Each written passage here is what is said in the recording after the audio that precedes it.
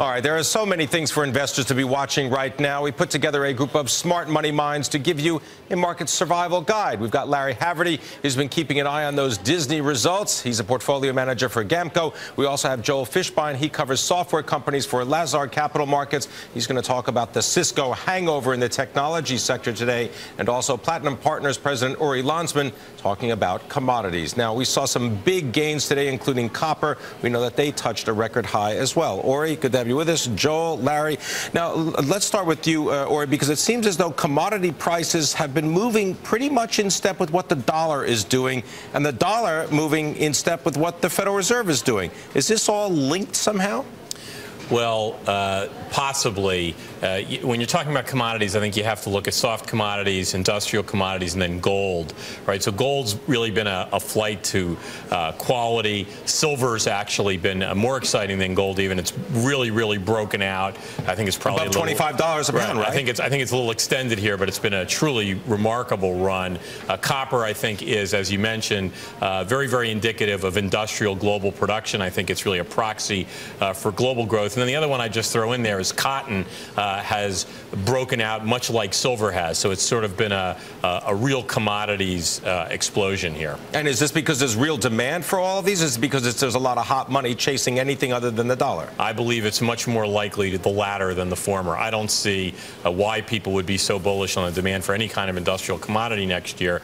And so the only thing I can think of is, is speculation and dollar selling. Joel Fishbein, when you look at investor appetite for commodities. That's the antithesis of what they were saying about Cisco today.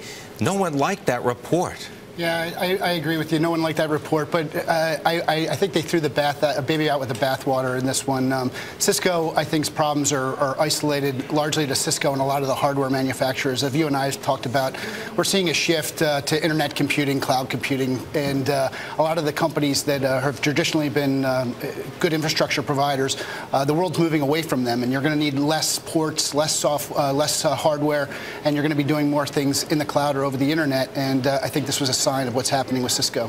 This is Taking Stock on Bloomberg. I'm Pimm Fox. Now we're giving you a market survival guide with some experts. We have Uri Landesman of Platinum Partners, Joel Fishbein of Lazard Capital Markets, and we have Larry Haverty, manager for GAMCO. All right, Larry, Larry Haverty, can you explain what happened with Disney? The results today coming out unexpectedly early. I thought that Disney's results were going to come out after the closing bell.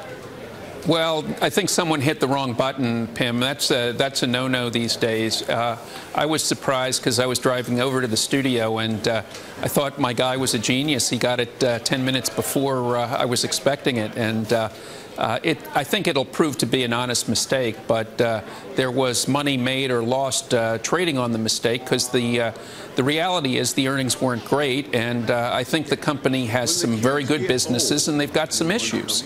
What are the uh, issues uh, and, that they need uh, to resolve, Larry? Oh, well, I, I, think the first issue, uh, and I'm down in St. Petersburg, Tampa right now, is Florida.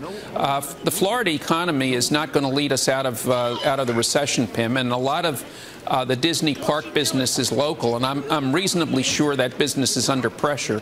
And they have some very effective new competition from Universal with, with what I call Harry Potterville.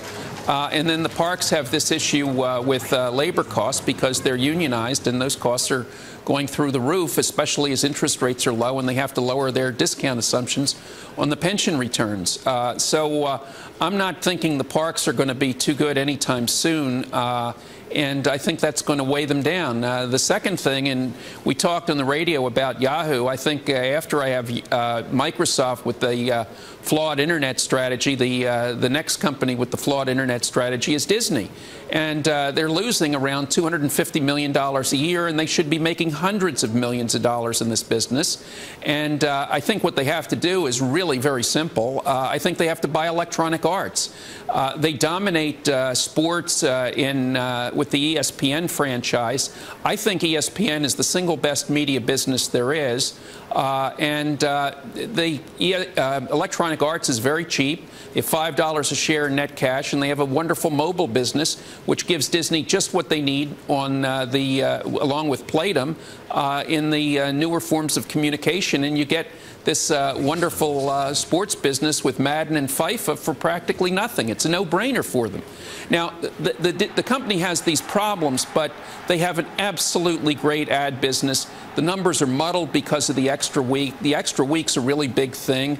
Uh, because uh, it would be the first week in October. That's a big advertising week. You have the World Series, you have people back in school, you have new programs. Uh, and uh, if you took that uh, out, uh, their ad numbers are just terrific. I think they're actually better than a lot of people. We just had our auto conference in Las Vegas last week. Uh, over 30 companies, and I'm, I'm astounded, Pimm, at how good a shape the auto industry from top to bottom is in this country.